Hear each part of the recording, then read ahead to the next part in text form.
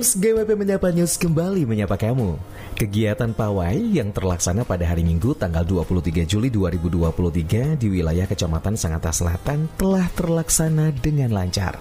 Pawai yang terselenggara dalam rangka peringatan Tahun Baru Islam 1445 Hijriah ini diikuti oleh peserta dari TKA, TPA, Majelis Taklim, SD, SMP, MTS Negeri dan Swasta sekecamatan Sangatta Selatan.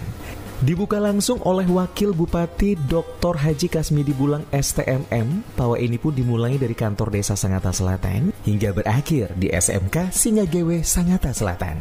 Kasmidi Bulang juga menyampaikan bahwa kegiatan ini sangat positif dalam menyambut Tahun Baru Islam di mana pemerintah Kabupaten Kutai Timur akan selalu mensupport kegiatan-kegiatan momentum seperti ini. Warahmatullahi wabarakatuh.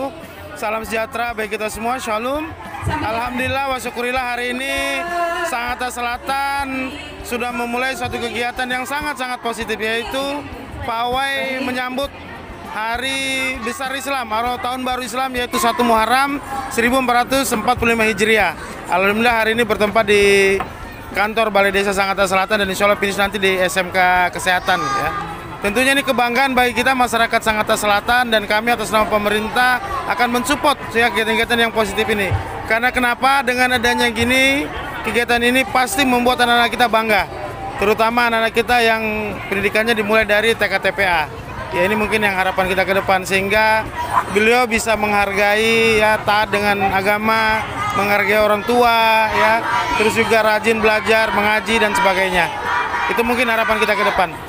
Ya, terima kasih.